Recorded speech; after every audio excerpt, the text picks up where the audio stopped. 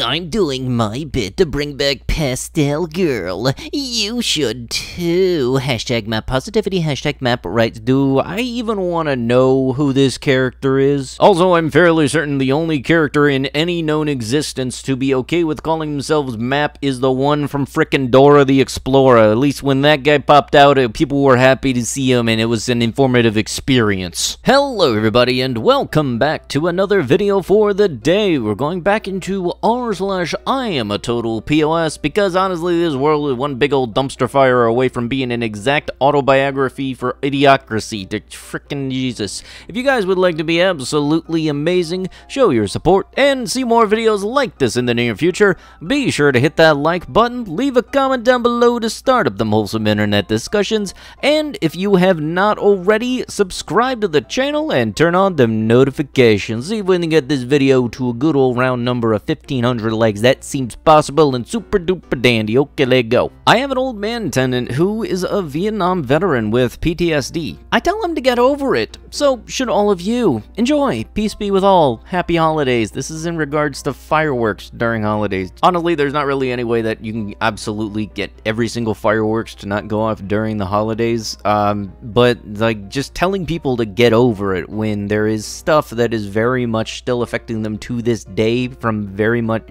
in their past it, just it comes off as one of the biggest douche moves you can do. You just walk up to somebody who has a trauma and just tell them to freaking get over it. Like it why do you think that works? Hey, you know what, uh, what POS video ain't complete without cemetery vandalism? Ain't did just well, some of the greatest. These guys went around to every single one with a can of spray paint. They got nothing to do at night. Seriously, don't you guys have the internet? Like, seriously, just whack it for all I care. I, like, don't go to the cemetery and mess around with this. It's not cool whatsoever, and honestly, I kind of wish they had security cameras in those places. Principal Blank tendered her resignation Wednesday after an investigation revealed the school had failed to take action consistent with its core beliefs and values regarding allegations of blank harassment and assault of a student. Student blank misconduct probe finds the school at fault. The OKC principal resigns. Yeah, zero tolerance policy my butt. And with the caption that the post had on Reddit, you might as well rename that policy as the 20 plus tolerancy policy, because that's how many types of those claims were filed before anything was done in regards to the school. Now I'm just gonna take a wild guess one of those spitballing in the dark kind of guesses that uh, they didn't want to do anything about it because then people would notice the school and it would look bad in their image. School saying that they tote around a zero tolerance policy is honestly just a sick joke at this point and really they need to stop. Either they need to stop saying it or actually act on it. Don't have don't say something and then not act on it when it actually happens because this stuff is not this is not a laughing matter. This is absolutely actually serious. Northwest Ambulance Service appeals for the return of a stolen defibrillator. Service warns that equipment taken minutes into the new year can cause serious harm and be potentially fatal. You know, I would honestly think even though some thieves really do stoop to surprising lows when it comes to stealing stuff just for a quick buck, you would kind of think stuff that is meant to help, like,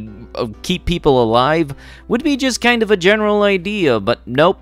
If, uh, as long as they aren't dying themselves, then, uh, you know, they, other people don't need it. Stop stealing milk from my doorstep. I am a single mom with a sick kid. This is my only way to get milk, and we are running low on food as it is. And you steal during a pandemic. F you. Not my photo, just seen on Facebook. Warning to Melbourne girls. Stay away from lens photography 1958. This consent form is disgusting. I can't be the only one that has the thought right now that I'm about to read something I'm really gonna wish I didn't. I hereby release to the photographer all rights to exhibit his work in print and electronic form publicly or privately. I waive any rights, claims, or interests I may have to control the use of my identity or likeness in the photographs and agree that any uses described therein may be made without compensation or additional consideration of me.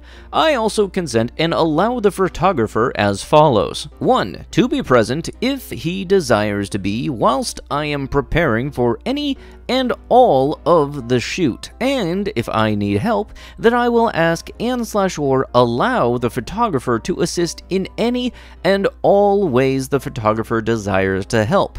2. To equitably consent to allow and agree for the photographer to touch me anywhere on my person he needs and slash or wishes to so as to ascertain the best possible pose. 3. To accept and acknowledge that there may be times of arousal by either or both parties and so I understand and allow that if the desire for me to touch the photographer or to be touched by the photographer occurs, that it will be permitted by both parties. 4. To equitably agree to participate in any of those types of activities if I am asked, as long as I feel comfortable to proceed to do so. That fourth one doesn't even have anything to do with the photo shoot. Number 3 basically says the dude gets a stiff, just roll with it. Number 4 says, oh yeah, you're signing it so that if anything happens, you're up for game and that stuff. No, this is not okay, and I do not even want to know how long this dude's been doing his business. This person is hurting their dog by overfeeding and then posting it online. Yeah, it's never cool to try to gain internet points by causing a health issue for anybody. I think when I was little, I liked fat tabby cats, uh, but that was before I had found out, yeah, there's probably a health issue tied to that.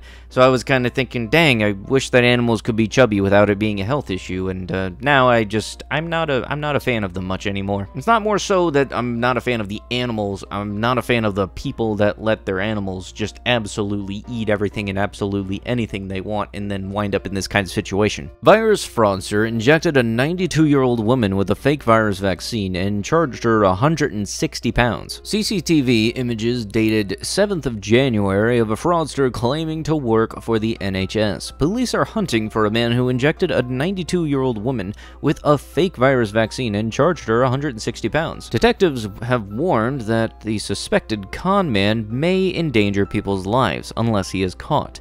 The victim allowed him to into her home in this location in London on the 30th of December after he said he was from the NHS. Gamer attack. Fortnite-obsessed thug, 18, smashed a 16-year-old skull with a Walking Dead baseball bat and then celebrated with a floss dance. This sounds so stupid. It's stupid to the point where you would expect this to only exist as a meme and nobody actually do it, but here we are. A former Mexican drug cartel kingpin who dismembered a six-year-old girl with an axe in front of her parents has been sentenced to seven consecutive life terms in a U.S. prison. Good. I can't be the only one that has ever thought at one point that when they say multiple life sentencing, I had thought that when he actually does finally die, somebody breaks out the Necronomicon or the Book of the Dead and something like that, and then just says, uh, brings him back up and says, okay, time for the second one. Anthony Bourdain is dead. The chef, storyteller, and Emmy Emmy-winning host of CNN Parts Unknown is dead of self-offing at the age of 61. The guilt of eating all those animals finally caught up with him. Uh, all of that happened and you're blaming it on the food he liked to eat.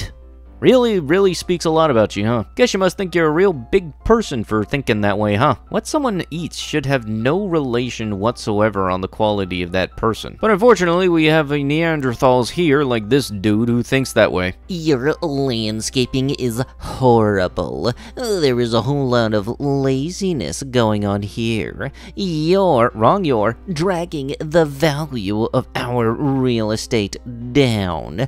If this is not cleaned up in a week. I'm going to call the blank code enforcement. Your neighbor. Honestly, I would have taken this and then put it up in my front yard for anybody driving or walking by to see with a little note under that says, Dear anonymous neighbor who didn't have the balls to be able to actually put their own name here, how about you come over and uh, we can talk about this so you can actually see um and do it yourself since you think oh so high and mighty and are so big brained. And otherwise, just shut the frick up. Because if you're willing to complain about a problem without being a part of the solution, then you got nothing to say here. You know, I think every single time I see these type of gravestone vandalization photos, it really has me kind of thinking there really are people that have such uh, sad lives and nothing to do with their lives that they legitimately think that this is a source of fun. Hey, don't you dare ever rip off everything off of the retail store shelves for jokes and laughs. Me and my coworkers now have to spend the entire night restocking everything,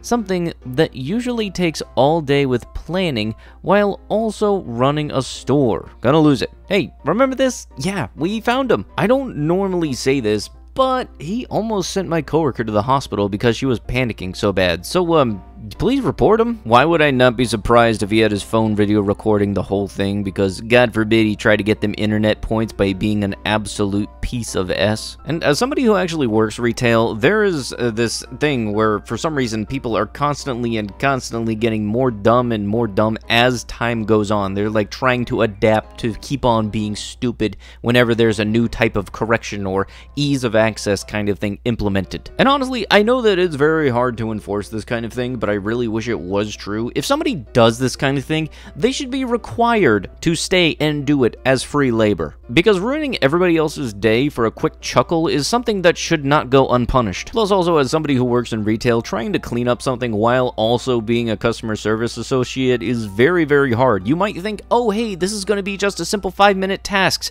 and then you realize it's 4 hours later. I am not kidding on this. But with that, that is going to have to be it with the video. If you guys would love to be absolutely amazing, show your support, and see more videos like this one in the near future, be sure to hit that like button, leave a comment down below to start up the Muslim Internet discussions, and if you have not already, subscribe to the channel and turn on the notifications. If we can get this video to a good old round number of the 1500 likes. That would be absolutely amazing. But I'll be sure to see you guys in the next one. Thank you so much for watching, and bye-bye.